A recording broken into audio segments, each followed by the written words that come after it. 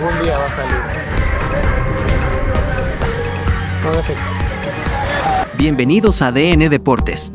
Paco Bazán, ex arquero y presentador, celebró la victoria de Universitario sobre Alianza Lima en la Liga 1 2023. Durante su júbilo, las luces del set fueron apagadas, aparentemente por preferencias hacia Alianza. A pesar del apagón, Bazán continuó la celebración y criticó a la dirigencia de Alianza por el apagón en Matute durante la coronación de Universitario como campeón hizo comentarios sarcásticos sobre la vuelta olímpica a oscuras. Era todo con la cámara de Quique, pero como es de Alianza, este, acá todos son hinchas de Alianza, es una cosa pero increíble.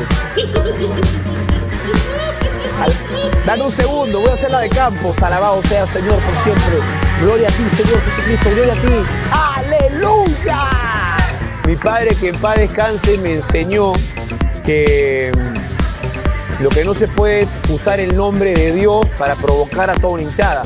Mi padre, mi padre descanse, me enseñó siempre que eh, uno tiene que limpiarse la boca después de comer, este, ¿no es cierto? Limpiarse después de, eh, no antes.